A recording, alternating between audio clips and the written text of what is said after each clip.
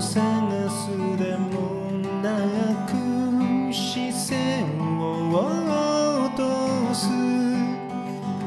目に入ってくるのはニュースにならない基地ばかり。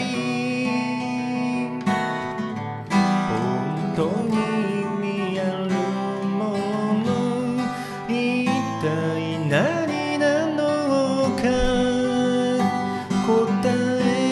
えを出すには疲れすぎて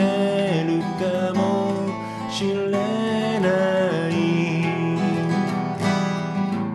価値ある生き方そんなものがあるなら誰か教えてよ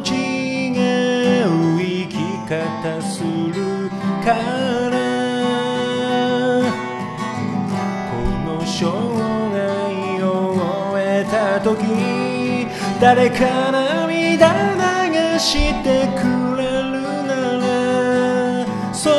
れぞれの価値がそこにきっとあるはずだから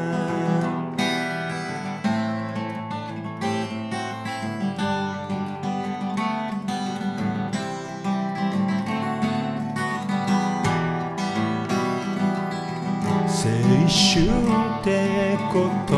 葉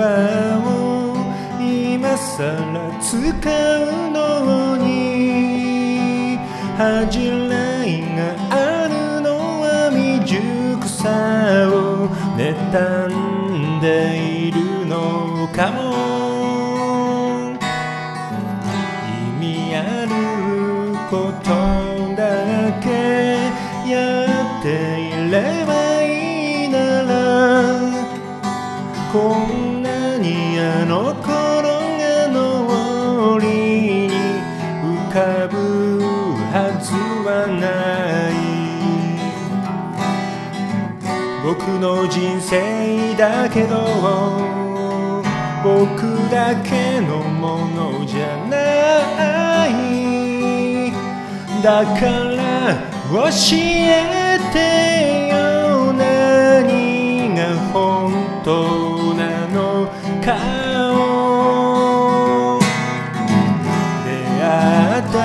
人の心に僕がいつまでも残るのならそ